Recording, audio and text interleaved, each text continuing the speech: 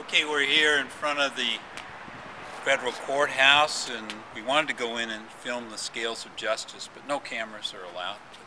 Here we have the American eagle holding the 13 arrows representing the 13 colonies and the 13 leaves and the 13 stars. So we thought we could find out what is true storytelling by asking the eagle. So eagle, what is true storytelling and how do we know it's true? So another possibility is the all-seeing eye, which would know the truth, right? Yeah. And tell us if that's true storytelling. Jens Larsen and Lena Bruun, and we're going to talk to you today about something we're doing together called What is True Storytelling? And we've got a number of exemplars we're going to show you to walk you through. They say that Soren Brier, he studies Peirce and Luhmann, uh, Gilles Deleuze, Martin Heidegger, Karen Barad, Slavoj Zizek, Henri Savall, Mary Parker Follett, Roy Bhaskar, and the team of the True Storytellers. Uh, we look at the multiplicities or the dialectics that each has done to accomplish what we're calling true storytelling, and each one does it in a different way.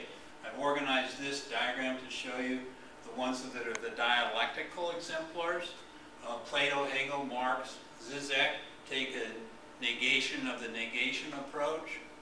Heidegger, Follett, Savall, and Bhaskar are all influenced the, to what I call positive dialectics, and it's more of a synthesis model. Then there's a multiplicity series of, of early and late Deleuze, and Karen Barad.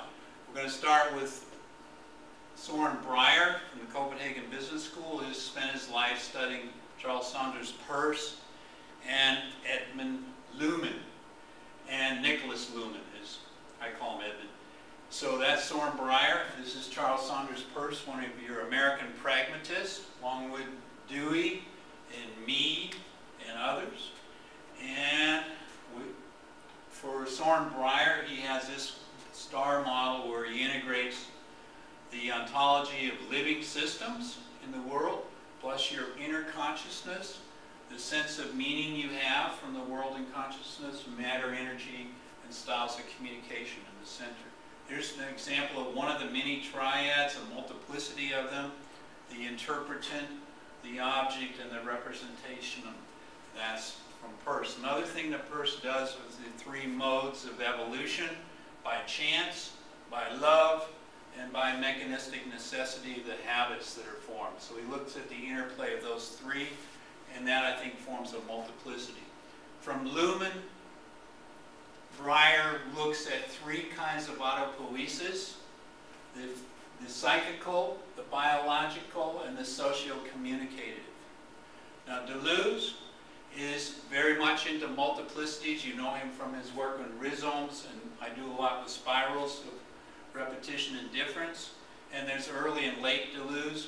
This is late Deleuze with Guattari, where here's an example of a mushroom rhizome. It grows in every direction. It has no dialectic, really. It just reaches its limits as a series. This is also from uh, late Deleuze. And here he has the soul, the God, and the world, and that steerhead image, the waves of time, uh, the spaces and exteriority. Very familiar with Martin Heidegger being in the world, one of the most renowned ontologists. His work on Dasein, right? Being there in the world. And he has a couple of different kinds of dialectics that he develops and he really wants to uh, disprove Hegel's approach to time in his classic book on being and time. And the whole book is really often about redoing the dialectic. Another multiplicity theorist is Karen Barad, agential realism, intra-activity of materiality with discourse, and space-time mattering with no dashes because it's an inseparability. She's strongly influenced by Bruno Latour, another multiplicity theorist of the assemblage of actors and actants. and he's very famous for the ant theory, actor network theory, and he says to be the ant, to be the investigator and, and explore the networks and the multiplicities about organization. So being the ant is very important.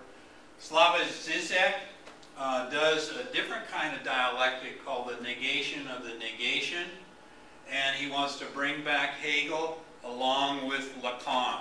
So very psychoanalytic, very political approaches, uh, fascinating reading. He spent his life work really doing, bringing Hegel back. This is Henri Savall. I worked with him for 20 years. And he has a trilectic between his, what he calls qualimetrics to bring together financial data, quantitative data, and qualitative interviewing and observation data. He uses a scientific method here where he has observation, conceptualization, modeling, experimentation, evaluation, validation, formulation of more and changed hypothesis. So he does a series of implementations of experiments and organizations according to his trilectic model. Uh, now, he believes that Taylor, Fayol, and Weber had formed a kind of a virus that has been instilled in corporations and public organizations around the world, and he works to take out that virus. And I think he appreciates very much in his early writing Mary Parker Follett, who I believe is the unsung hero, the mother of systems theory, who really brought this field to where it can be today. And she believes that you grow your power. Now, this is Roy Bhaskar, uh, again, very influenced by Hegel and Heidegger, and wants to look at the realist ontology, the actual ontology, the empirical ontology, and sees these embedded within one another and doesn't like the elephant fallacy, right? Calls that epistemic fallacy. Now, he's very stratified and layered levels of reality from the embodied psychological, the embodied critter, uh, and all the way out to the ecosystem. And he'll do work even on climate change and the whole ecology. So from the micro to the very macro. Now this is my group here with Jens and Lena, and we're influenced by Plato, the virtues, the good, the just, the true, and the beautiful, and freedom coming out of those virtues.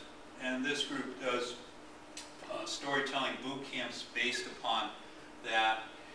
And the work of Ole Kirkeby. So they have, Ole Kirkeby is also the Copenhagen Business School faculty, and he has a way of working with true storytelling.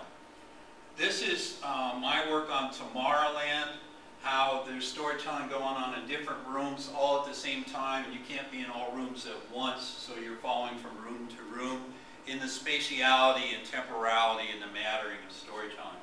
We're deeply influenced in our true storytelling work by Walter Benjamin. He said, death is the sanction of everything the storyteller can tell. He has borrowed his authority from death. He wrote the most fabulous essay ever written on storytelling who killed Walter Benjamin? Some say he committed suicide. Hannah Arendt says that, but now there's a new film, new book that says perhaps Stalin sent his hit squad to have him assassinated.